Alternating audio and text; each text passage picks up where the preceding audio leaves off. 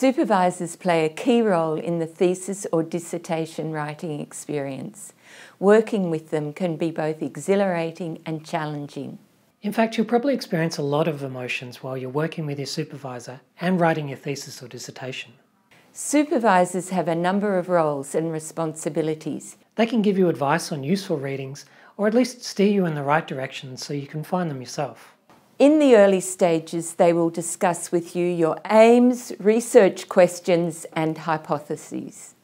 Your research methodology, and the variety of ways you can collect your data, and so on. And the scope of your research project, for example, its appropriate length, scope, and depth. Discussion with your supervisors should continue throughout the research process.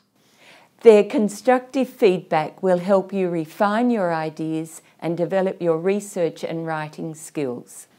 Work with your supervisor to establish a productive and amicable relationship.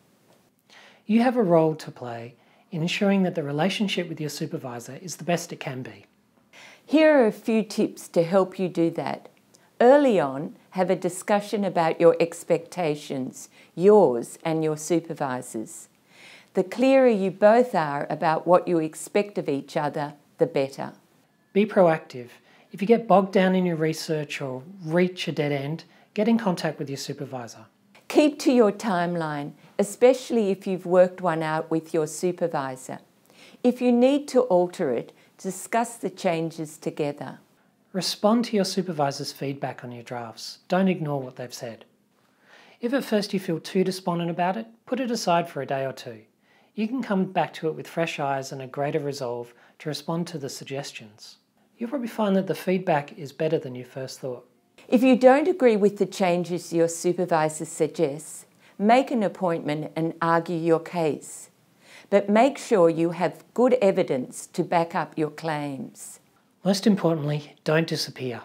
Meaning, keep in contact with your supervisor, even if you feel bad about your work or think you haven't done enough. Keep writing Keep talking to anyone who'll listen. Keep reading. Keep refining your ideas. Those aha moments are worth waiting for. Lastly, talk to yourself in positive terms and believe you're going to write a great thesis. You can get more study tips and advice on the Study Smarter website.